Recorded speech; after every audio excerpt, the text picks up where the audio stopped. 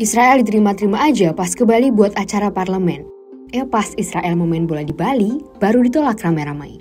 Jadi guys, pada Maret 2022, Parlemen Israel hadir di sidang Inter-Parliamentary Union di Bali. Saat itu nggak ada yang menolak.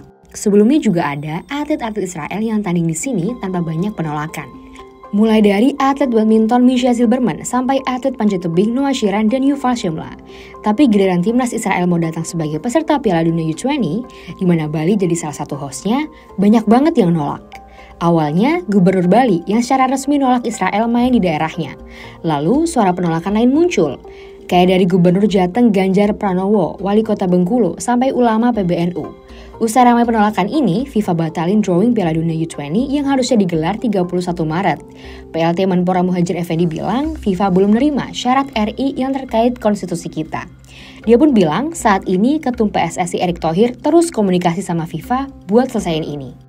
Tapi kenapa baru sekarang ya Israel ramai-ramai ditolak? Kenapa sebelumnya atlet dari Israel ada main aja main di sini? Simak selengkapnya di Kumparan.